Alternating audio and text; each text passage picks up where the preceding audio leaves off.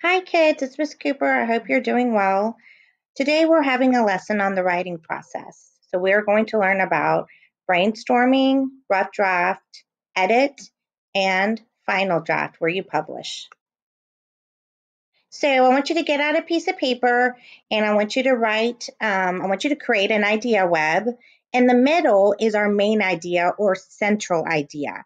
And our topic today is write about why plants are important and explain what makes them special. I want you to think of as many ideas as you can, and those are your details. So in the main idea here, we're going to write why plants are important. Then after you see a video at the end of this presentation, then you can add your details. So right now, go ahead and pause this so you can have your idea web ready to go.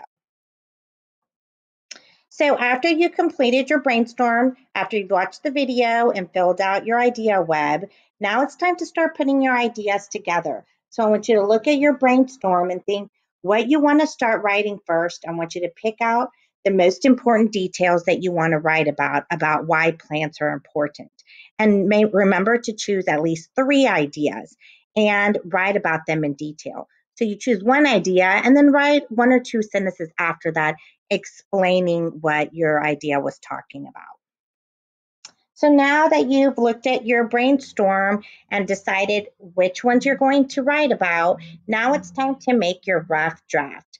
So now it's time to put your ideas down on paper. Remember, you need to start off with a title, then a topic sentence. A topic sentence is your central idea, it's what you're mainly talking about.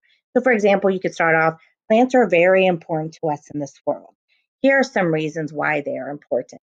And you can even list some of your reasons, like my first reason is, or my second reason is. And remember to have at least three reasons and examples. And don't forget your ending sentence to wrap up your whole story. So now that you finished with your rough draft, it's time to share with your family. And you shouldn't be too concerned about how to spell during your rough draft. You need to just sound out the words. But now it's time to share with your family. And you're going to read them your story, and then you're going to listen to them because they're going to maybe try to give you some ideas that you maybe might want to add. And make sure when you're reading that your sentences are making sense. So now it's time after you share your reading to ask them if they have any corrections. And you need um, you can give them a pen, they can help you correct it. Make sure you have capitals, the correct punctuation, and that your story makes sense. So now that you have your corrections down on your on your story, it's time to go ahead and start your final draft. And now we're going to publish and you're going to be an author. This draft will be your final or published draft. Remember to have a title and you're going to write as neatly as you can. You will copy your rough draft with all the corrections down and then fix the mistakes like we do in class. And just make sure you have a title, beginning and ending, you have capital letters, and the correct punctuation. After you finish and you have taken your time to write an awesome story, I want it's now it's time we can add an illustration with our story. So you can take your time and do a nice drawing that goes with one or many reasons why plants are important to us.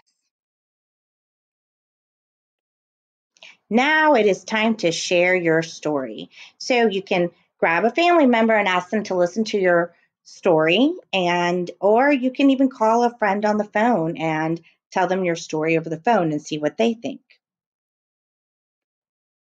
Now that we've finished our writing process, which is brainstorm, rough draft, edit, and publishing, now this is your activity, like I've said before. Plants are an important part of this world. Think about how plants are important to our world.